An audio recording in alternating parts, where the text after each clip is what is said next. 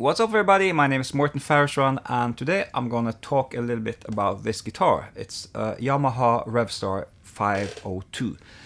Um, I've just had this guitar for a couple of weeks. Uh, I've been using it in a couple of videos, so a lot of people have been asking about it. People are curious about it. Uh, so yeah, just talk a bit about what I think and why I got it. Uh, why I got it first, I actually just saw an ad, I think, and um, I really liked the way it looked, um, and decided to check out on YouTube, you know, see reviews of it and, and, stuff like that. So, you know, I really liked the way it sounded from the reviews, and also people seem to be very positive about the build quality and stuff like that. You know, yeah, it seems to be people who, ha who has this guitar seem to be really happy with it. Uh, also, I've been uh, wanting to get the guitar with P90 pickups in it for a while. So, yeah, I, I decided to give this uh, a shot. It, it's really affordable compared to all the other guitars I have.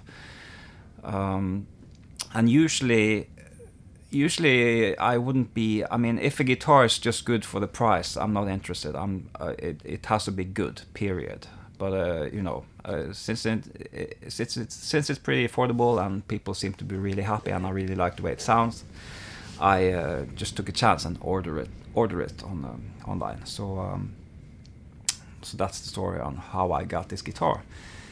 Um, so it's a mahogany body with a maple top, mahogany neck, 24 and 3 quarters scale length, two pickups. Obviously this is similar to a Gibson Les Paul.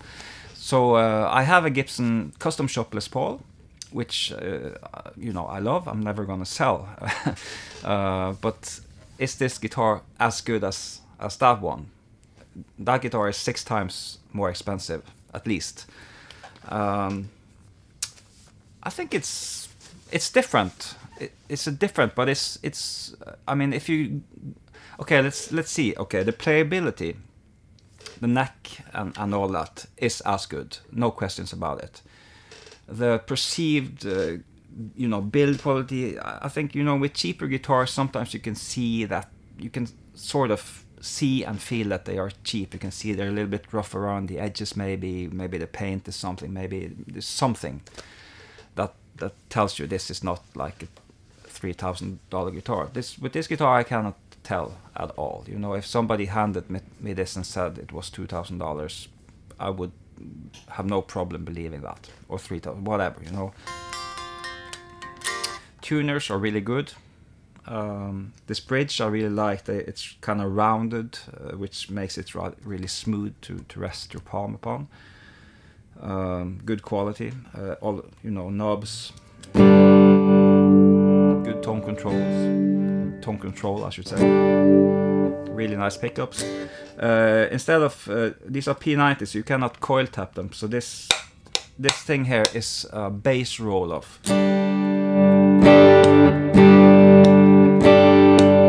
It's subtle and and that's really nice. I think with the coil taps, often it's they kind of aren't that usable because the difference between when you have tapped it uh, and when you haven't is so big you know um, often the volume is is really a lot louder when when it's a humbucker than when you have it as a single coil. And uh, with this thing here, and I think they have this on the the humbucker guitars as well. Instead of a coil tap, it's like a bass roll.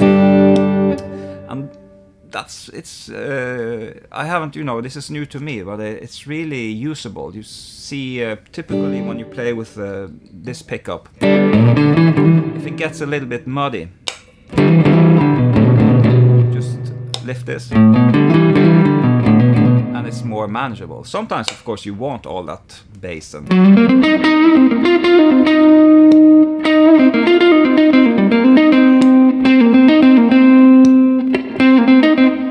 it's subtle, but that makes it more usable.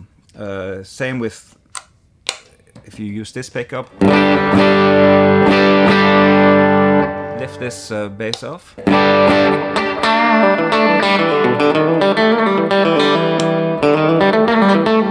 When you take away a bass, it uh, the, uh, the sound seems brighter, even if you haven't uh, added any treble. But um, so if you want that kind of sparkly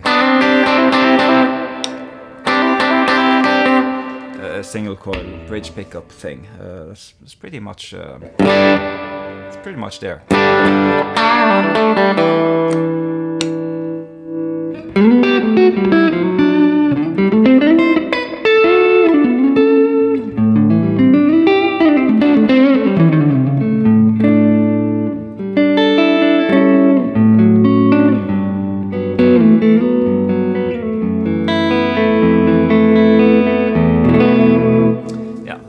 Plays really smooth. Uh, what I had to do um, after I got it, this nut is always too high on every guitar I get for some reason.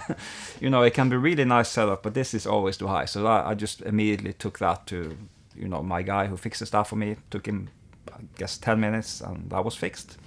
Um, and that was pretty much it. Much it. Uh, when I've had it for one day, I had to uh, tighten the truss rod just a little bit, probably because of temperature changes or whatever. And uh, also, I took the action just a tiny, tiny little bit uh, down, and that's all I've done to guitar, and and and it plays as good as anything that I have. So that means it, it plays as good as guitar can play. Uh, one more thing I like when comparing it to a Gibson Les Paul, you have a better range on the top here. That hasn't really bothered me uh, when I played Les Paul. Uh, also, my my Strat and Tele only have 21 frets, and you know, it it it does change when you when it's a little bit hard to get access to the top fret. It, it changed. You kind of tend to stay a little bit more down here. But uh, I've been um, experiencing that I I like. Like having access to all those high notes, those high notes.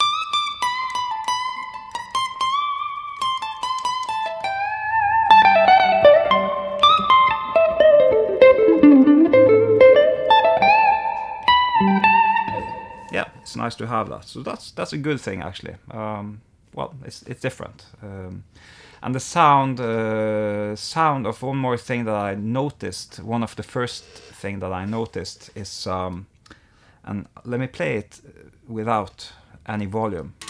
I don't know how well you can hear this, but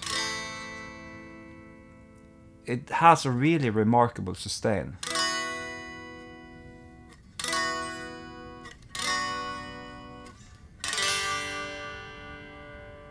Yeah, I don't know how well you can hear that through uh, the microphone, but that's uh, it really, really rings, and I as far as I understand, that's a quality sign of a guitar, I guess. Some, not something that I've really have thought too much about, but um, I just noticed with this guitar. The tone is generally very like very clear on, on the guitar.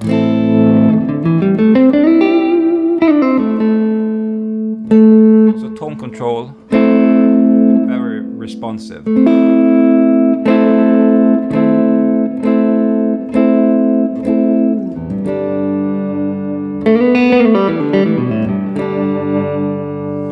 Yeah, there's probably a bunch of stuff that I should mention, but uh, just ask me in the comment section if there's anything you're wondering about. And uh, I have been playing it on my videos quite a lot. I'm sure I'm, I'm gonna be playing it a lot more. So there's gonna be even more clips where you can hear how this particular guitar sounds. But um, yeah, I really recommend it. It's uh, so far really, really great. So uh, yeah, see you soon. Bye bye.